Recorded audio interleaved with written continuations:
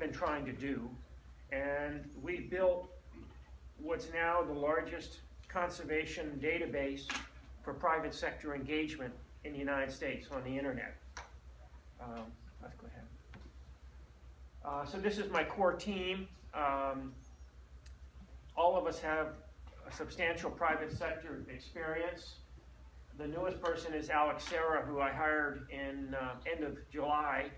Uh, she had been the regional vice president of Walmart for all of New England for the last six and a half years. And she's been a fantastic addition. You also met my son Amos. And then just last week, we hired a um, woman named Melissa O'Neill from Preti Flaherty, one of the top three law firms in, in Maine. So here's the basic equation.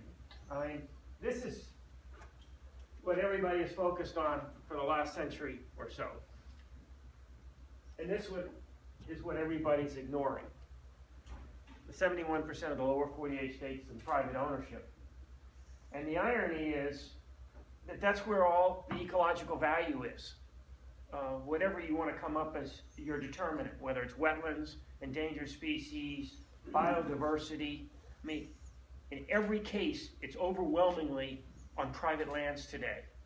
Even in the West, where, and you'll see late, another slide, but in the West, where most states are 50, 60, 70% publicly owned, all the biodiversity is on private lands because that's where the water is.